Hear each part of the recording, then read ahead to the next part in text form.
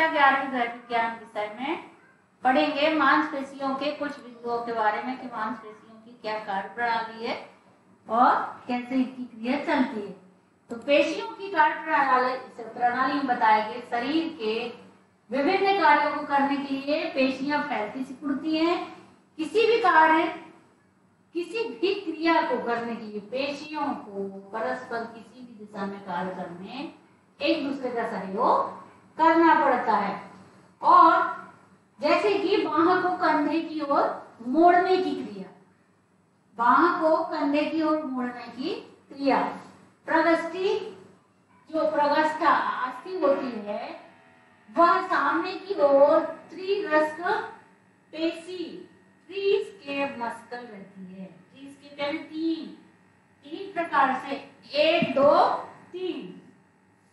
तो कुहनी में इस गंधास्थी तक फैली हुई होती है जो त्रिरास्क स्नायु होता है द्विरस्क और त्रिरस्क स्नायु क्रमशः दो और तीन पतले पतले छोर जैसे अस्थि मूल में जुड़े रहते हैं। और स्नायु संकुचित होते रहते हैं, स्नायु फैलते भी हैं, प्रसारित भी होते इसके परस्पर विरोधी क्रिया से हम कंधे को मोड़ सकते हैं, चलने की क्रिया। इसी तरह चलने की क्रिया होती कि पैर के स्नायु, पैर आगे बढ़ाने में, स्थिति में एक दूसरे के आगे घुटना मोड़ने में सहायक होते हैं, संकुचित होते हैं, फिर फैलते हैं। आगे की ओर बढ़ाओ पैर को तो आगे हो जाते हैं, पीछे की तरफ़ तो पीछे, ऐसे क्रिया चलती रहती है। स्नायु सहकार्य सहकार्य करते हैं। सहकार्य में मिलकर ही कार्य करते हैं मिलकर ही कार्य करती हैं, सारे शरीर को चलाती हैं। फिर भौतिक क्रिया है इसमें, रासायनिक क्रिया है। तो भौतिक क्रिया में पेशी एक बार फैलती है और लंबाई बढ़ती है, मोटाई बढ़ती है। और सिकुड़ने के समय, परंतु आयतन में एक ही रहता है। और इस कार्य में समय अधिक नहीं लगता। कि एक सेकंड का समय लगता है, इसमें यांत्रिक परिवर्तन होता है।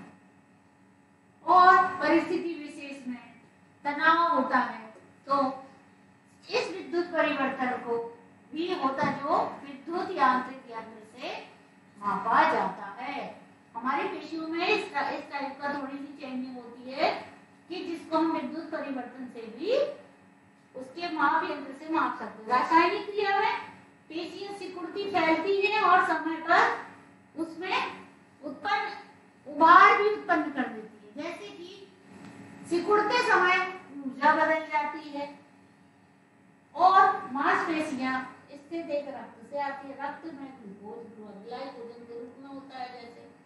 तो ग्लूकोज के ऑक्सीकरण से जैविक ऊर्जा एटीपी उत्पन्न हो जाती है। और पेशियाँ फैलती, सिकुड़ती हैं टूटे फूटे ऊतकों की मरम्मत करती हैं। पेशियाँ हमारे शरीर को सुडौल बनाती हैं, है ना? आकर्षक बनाती हैं, हमारे शरीर को आकार देती हैं पेशियाँ। फिर प्रमुख पेशियाँ और उनके उपयोग, जैसे चेहरे की पेशियाँ, निचले चमड़े पर छाए स्नायु के कारण भोजन चबा सकते हैं और बोल भी सकते कपोल और ओटोबोमों की पेशियाँ मनोविकार प्रकट होते हैं, जैसे हास्य क्रोध, रुदन। यानी मांसपेशियों का क्या बताया गया? चेहरे की पेशियों का कि मनोविकार भी उत्पन्न करते जैसे हंसना, क्रोध करना, चेहरा बनता है ना वैसा? एक्सप्रेशन बोलते हैं इसको। फिर दूसरा है उरोज की पेशियाँ। ये पेशियाँ वक्ष स्थल के ऊपर होती हैं और फैली हुई रहती हैं क्या आकुंचन से भुजदंड के सामने पीछे की ओर की गति होती है। ये शरीर को सुंदर और बलिष्ठ बनाती है। फिर कंधे की त्रिकोणी पेशियाँ, यह पेशियाँ भुज भुजदंड को ऊपर उठाती हैं और हाथ की ताकत से वज़न उठाने में सहायक होती हैं। फिर त्रिरस्त पेशियाँ जो हमने अभी पिछला पढ़ा।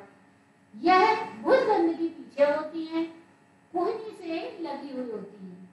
इसकी गति हाथ को सीधा करना, घुमाना, मोड़ना आदि में मदद करती हैं ये त्रिरस्त पेशियाँ।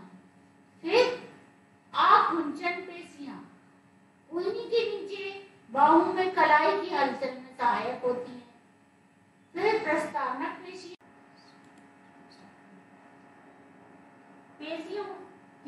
थकावट निरंतर कार्य करते रहने से अंगों में थकावट आ जाती है।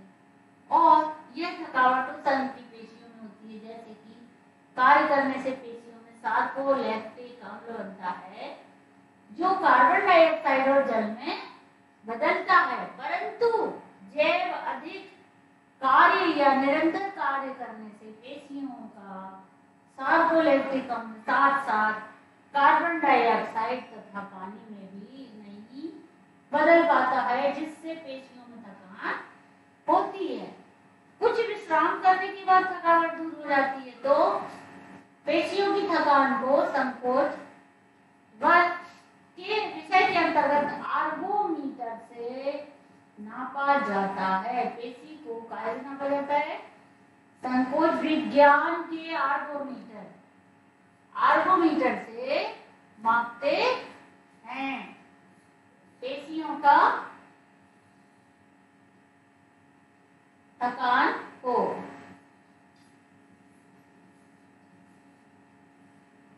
आर्गोमीटर से मापा जाता है। और यह थकान सुषुम्ना की वाहक कोशिकाओं को में सेल में होती है। वाहक कोशिकाओं की सेल में होती है। तो हमने आज द्विरस्क और सभी पेशियों के बारे में पढ़ा। कि चेहरे पे कैसे भाव प्रकट होते हैं, या हाथ में क्या कार्य करती हैं पेशियाँ और कलाई में, यह सबको बच्चों आपको पढ़ना है और कॉपी में लिखना है।